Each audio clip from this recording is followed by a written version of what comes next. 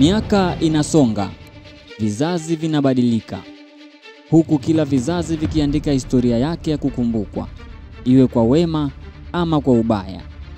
Naitwa Hamisi Mguta, the content creator. Unaweza kunifuatilia kwenye Instagram kama mguta underscore og. Leo nitakukumbusha moja ya tukio lililopata kutokea miaka ya 1980. Tukio hili linamhusu Sara Simbaulanga, mwanamke wa kwanza kuibia benki pesa ndefu katika historia ya mabenki. Miaka ya 1980 iligubikwa na matukio kadhaa makubwa ya kijamii na kisiasa. Ni kipindi kilichokuwa na harakati nyingi za ukombozi wa mataifa kadhaa barani Afrika, lakini matukio hayo yaliyotikisa taifa yameanza kusahaulika. Matukio yaliyokuwa yakitokea wakati huo yalichukuliwa kama hujuma au mbinu za mabeberu na hasa makaburu wa Afrika ya Kusini kuyumbisha harakati hizo ndani ya mataifa matano yaliyokuwa mstari wa mbele katika ukombozi kusini mwa Afrika ambayo ni Tanzania, Zambia, Msumbiji, Angola na Botswana. Hata hivyo, yapo matukio yaliyofanywa na raia wa Tanzania bila kuwapo kwa njama ama hujuma zozote kutoka nje ya nchi, na moja ya matukio hayo ni wizi wa mamilioni ya fedha za Benki ya Taifa ya Biashara NBC mwaka 1987. Wizi huo uliofanywa na mwanamama Sara Martin Simbaulanga unachukuliwa kama ni wizi wa kwanza wa aina yake kufanywa na mwanamke wa Tanzania. Baadhi ya vijana wa enzi hizo wanamchukulia kama mwanamama jasiri kuwahi kutokea nchini baada ya Bibi Titi Mohamed. Lakini utofauti wa ujasiri wao unatenganishwa na ukweli ya kwamba ujasiri wa Bibi Titi ulikuwa ni wa kishujaa uliowakonga wazalendo wa nchi hii wa kupambana na ukoloni kutaka kuikomboa Tanganyika. Na ujasiri wa Sara haukuwa wa kizalendo, bali ni kwa kuliingizia taifa hasara kubwa kuwahi kutokea katika historia ya Tanzania, ili mradi tu apate anachokitaka. Taarifa za Sara kuchota mamilioni ya fedha za umma akiwa na umri wa miaka 35 wakati huo, mwajiriwa wa NBC, benki pekee kubwa katika kipindi hicho, ziliwekwa hadharani katika taarifa ya habari ya redio Tanzania Dar es Salaam RTD saa saba mchana wa Jumapili Novemba mosi mwaka 1987. Taarifa hiyo iliyoacha vinywa wazi wa Tanzania ilisema baada ya kufanikisha wizi huo akishirikiana na mpenzi wake raia wa Kenya Toroa Mohamed Toroa aliyekuwa na miaka 40 wakati huo, walitoroka nchini kwa kupangilia mbinu za aina yake. Yaani, unaweza kudhani walikuwa wakicheza movie ya action kama zile za Arnold Schwarzenegger. Sara akiwa na watoto wake watatu alitoroka nchini na kukimbilia Nairobi nchini Kenya, wakijihakikishia kuishi kifahari kupitia mamilioni ya wizi. Hakika hili alikuwa tukio la kawaida, hata kama miaka mitano nyuma waliwahi kujitokeza Watanzania watano ambao waliiteka ndege ya LTC kwa silaha bandia na kuipeleka Uingereza. Bado haifui dafu kwa tukio alilolifanya Sara. Gumzo likawa ni Sara simba ulanga Jina lake likatapakaa haraka mitaani kama misemo ya karne ya 21 ya utajiju kantangaze na kwio hiyo kwio ilivyosambaa, huku wazalendo wakimlaani vikali kwa kuhujumu uchumi na kuongeza ugumu wa maisha. Hadi taarifa hizo zikitangazwa, tayari serikali kupitia ofisi ya mkurugenzi wa makosa ya jinai DCI ilikwisha ripoti Interpol na msako wa Sara na Toroha ulikuwa umekwisha anza. Baadaye ilikuja kufahamika ya kwamba wizi huo ulipangwa kwa ustadi mkubwa na wapenzi hao wawili, Sara na Toroha, kijana mtanashati aliyezaliwa Mbegani, wilaya ya Bagamoyo, mkoani Pwani mwaka 1948. Baba yake alikuwa na uwezo wa kifedha, alikuwa mfanyakazi wa zamani wa ikulu na ubalozi wa Japan na Uholanzi mwanzoni mwa miaka ya 1960. Baba yake Toroha aliondoka nchini akilikimbia Azimio la Arusha baada ya nyumba yake kutaifishwa na kwenda kuishi Ujerumani alipofungua mgahawa na duka la vinyago. Toroha alimwoa binti Mkenya Elizabeth Wanjiru mwaka 1979 na kuishi naye Ujerumani, Uingereza, Ufaransa, Italia na baadaye nchini Kenya, huku akitembelea Tanzania mara kwa mara. Urafiki wa Sara na Toroha ulianza wakati Sara akiwa mwanafunzi katika shule ya sekondari Zanaki jijini Dar es Salaam. Baada ya elimu, Sara aliajiriwa na NBC alikopata vyeo hadi kuwa msimamizi wa idara ya fedha za kigeni. Mipango ya wizi huo ilianza kwa Toroha kuingia nchini Oktoba 11 mwaka 1987 na kwa kushirikiana na maofisa wa uhamiaji kadhaa, Sara, mama wa watoto watatu ambao ni Happiness, Simba na Brandina, alitengeneza pasipoti kwa ajili yake na watoto hao zikiwa na majina bandia, ikiwa ni hatua ya kwanza kusaidia kutoroka nchini kwa urahisi. Pasipoti hizo zilitolewa Oktoba 28 mwaka 1987, ya kwake yenye namba 220130 ikiwa na jina la Khadija Ali Mkimbau. Na pasipoti ya Happiness ikisomeka Jamila Ismail Hassan na ya Simba ikisomeka Halfan Ismail Hassan na ya Blandina ikiwa inasomeka Jennifer Ismail Hassan.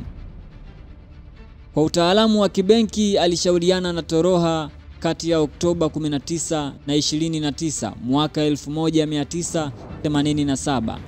Sara akaiba uhundi za kusafiria 1100 zenye thamani ya dola ya Marekani laki tatu na elfu tisini na hundi 200 zenye thamani ya pauni ya Uingereza elfu ishirini.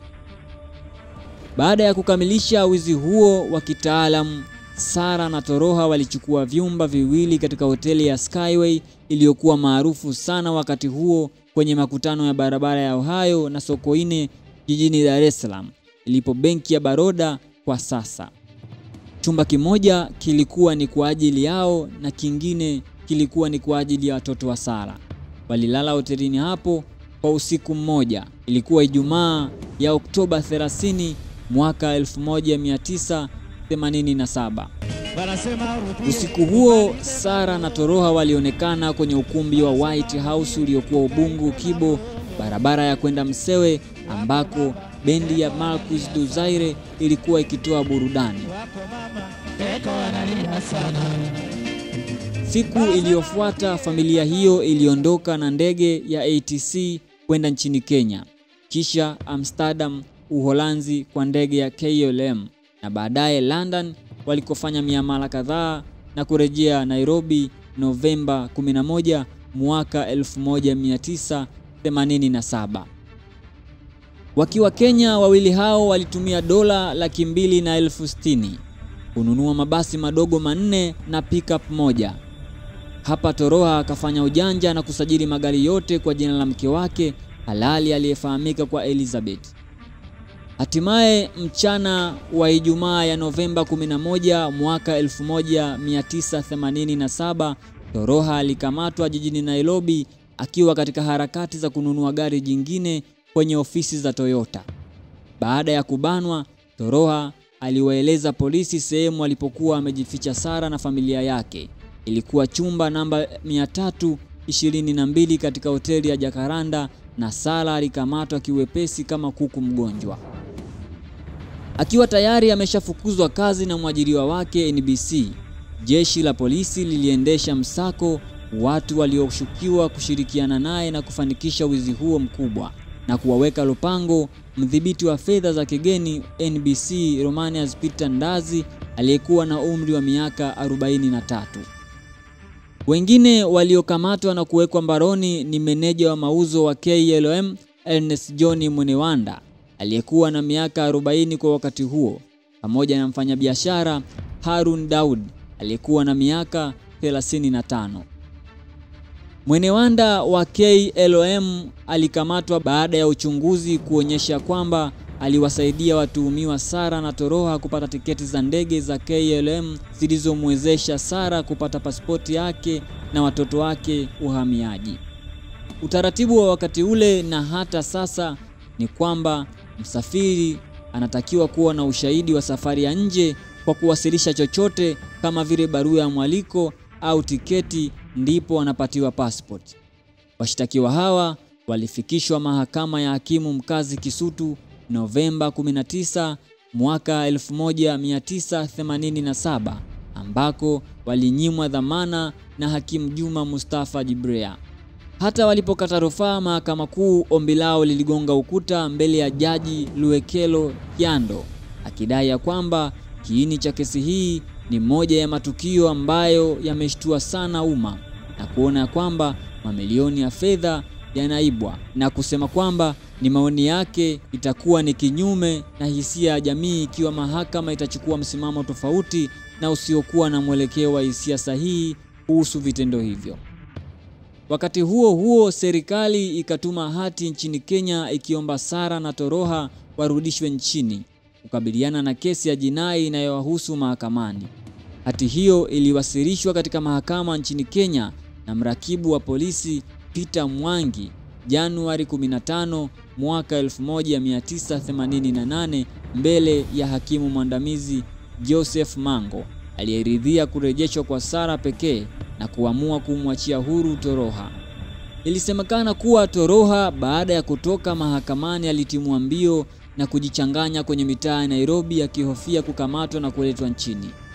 Watanzania wengi walikuwa wakifuatilia kwa karibu maendeleo ya kesi hiyo kupitia magazeti maarufu wakati huo, Uhuru, Daily News na Mfanyabiashara, wakitamani Sara arejeshwe nchini wapate kumwona kwa macho mama huyo wa shoka. Msafara wa magari matano yenye ulinzi mkali yaliegeshwa eneo la Namanga upande wa Tanzania kwenye mpaka wa Kenya asubuhi Jumanne Februari 2 mwaka 1988 yakimsubiri Sara Simbaulanga. Saa sita mchana, maofisa wa usalama wa Kenya waliwakabidhi wenzao wa Tanzania mtuhumiwa huyo na msafara ukaanza kurejea Dar es Salaam kwa kasi ya ajabu. Kiu ya wananchi kumwona kwa macho yao wenyewe Sara Simbaulanga ilitimia wiki moja baadaye, ambapo Jumatano Februari 10 mwaka 1988 alipofikishwa mahakamani Kisutu saa tatu asubuhi chini ya ulinzi mkali kuwahi kutokea kumdhibiti mwanamke mmoja. Barabara ya UWT siku hizi barabara ya Bibi Titi Mohamed iliyopita mbele ya mahakama ya Kisutu ikafungwa kwa muda kutokana na wingi wa watu ndani na nje ya mahakama hiyo wakitamani kumwona Sara na si kuhadithiwa. Mbele ya hakimu mwandamizi Joseph Masanche, mrakibu mwandamizi wa polisi Edwin Mani alimsomea Sara mashtaka matano. Wakati huo Sara alikuwa akitetewa na wakili mashuhuri kuwahi kutokea nchini Dr. Masumbuko la Mwai. Ujasiri wa Sara uliendelea kuonekana kuushangaza umati uliofurika mahakamani pale bila hofu yoyote alipokiri mashtaka yote matano, kiasi hata kumwacha hoi hakimu aliyelazimika kurudia mara mbili akimuuliza iwapo ameelewa vizuri mashtaka dhidi yake. Ilimchukua hakimu Masanche takribani dakika 15 tu kusoma hukumu dhidi ya Sara, ambapo alimhukumu kwenda jela miaka 35 ikiwa ni miaka saba kwa kila kosa alilokutwa na hatia. Na kwa kuwa adhabu hiyo ilipaswa kwenda kwa pamoja, basi Sara alipaswa kukaa jela kwa miaka saba tu.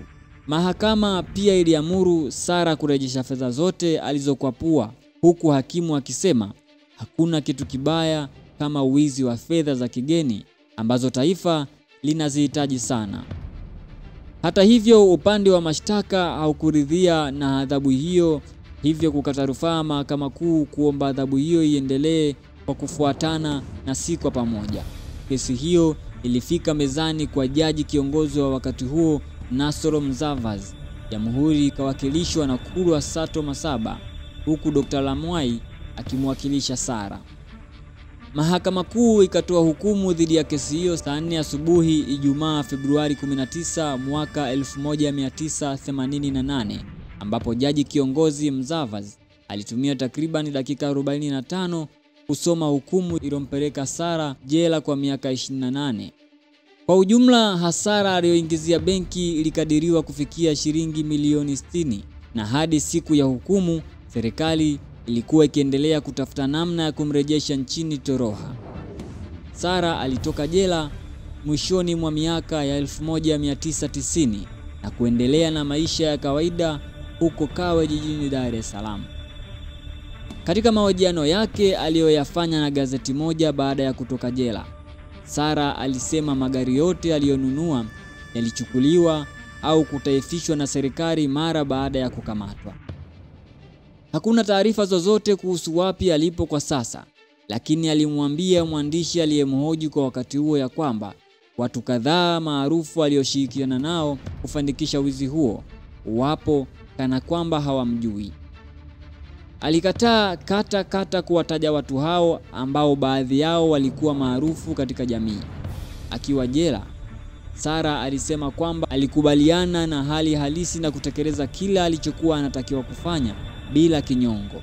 Hali hiyo ilimfanya askari jela kumfanya mnyapala wa mafungo wa kike gerezani. Siku aliyotolewa ilikuwa ni ghafla na asiyotarajia. Sara alisema aliitwa ofisini na kuambiwa kuwa anaachiwa huru, lakini hakuamini masikio yake. Baada ya kutolewa gerezani, alifikishwa kwao Kawe jijini Dar es Salaam na kumkuta mumewe tayari amekwisha kuoa mwanamke mwingine. Hiyo ndiyo historia ya Sara, mwanamke pekee na wa kwanza nchini Tanzania aliyeweka historia ya kuibia benki pesa nyingi kuwahi kutokea. Jina langu naitwa Hamisi Mguta. Unaweza kunipata kwenye mtandao wangu wa Instagram kwa jina la Mguta underscore OG, lakini usisahau kusubscribe channel hii ya Mwanahalisi TV ili uwe kwanza kupata taarifa zetu. Kwenye mitandao mbalimbali mbali ya kijamii tunapatikana, lakini kwenye mtandao wa Instagram tunapatikana kwa jina la Mwanahalisi underscore digital. Upande wa Facebook tunapatikana kwa jina la Mwanahalisi na upande wa Twitter tunapatikana kwa jina la Mwanahalisi digital. Usisahau kusoma habari zetu mbalimbali mbali ambazo tunakuwekea katika website yetu ya www.mwanahalisi.online.com ili uweze kusoma habari mbalimbali mbali ambazo tunakuwekea kutoka ndani na nje ya nchi. Ili kwa wa kwanza kupata habari zetu, tafadhali usisahau kusubscribe, like na kucomment.